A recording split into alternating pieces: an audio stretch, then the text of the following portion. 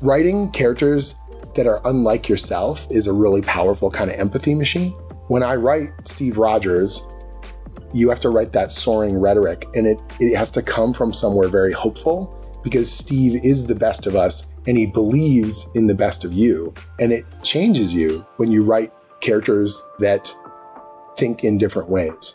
Well, what would Clint Barton do? What is Monica Rambeau thinking in this scenario? Not what do I need her to do as a plot device? We get to the same destination, but we get there with a more human, you know, element. Characters that have loved and have lost and all this kind of stuff. And if you get into that role, you walk away with a little bit of a, you know, like a head switch. It's kind of cool.